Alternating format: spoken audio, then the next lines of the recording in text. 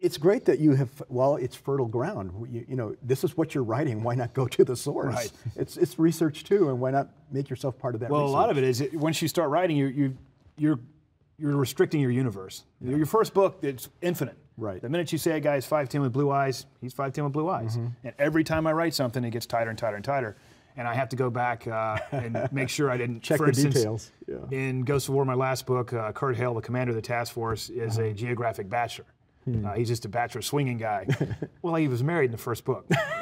I completely forgot that. So I get oh, these no. emails. What happened to the wife? How funny. How funny.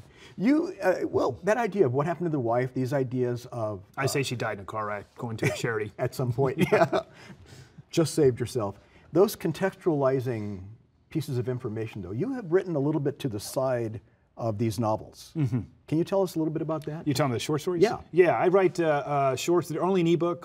Hopefully, we'll do an anthology when I get enough out. Mm-hmm. Uh, but they're not cost productive to put out in paper. But they're, it's my ability to explore some of the relationships uh, of the characters that are in the book. Um, the recruit, two short stories ago, that was Decoy and Knuckles.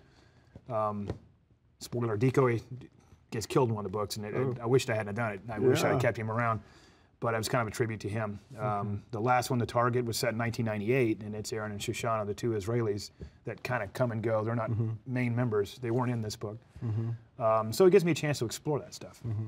That's a nice. That's a nice thing to be able to do. Mm-hmm. I mean, I, and, it, and, it, also keeps you from having to write a whole book every single time. Yeah. Uh, well, that one, I had, the, I had the short story and this book in six months, so that was well, I want to thank you for joining us. This has been a lot of fun to talk about. The idea of a thriller is an intriguing one, uh, I think, for me and for, for readers, mm-hmm. because again, why do we read it? Yeah.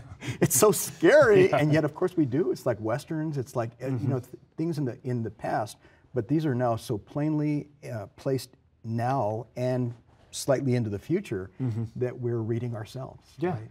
I enjoy writing them.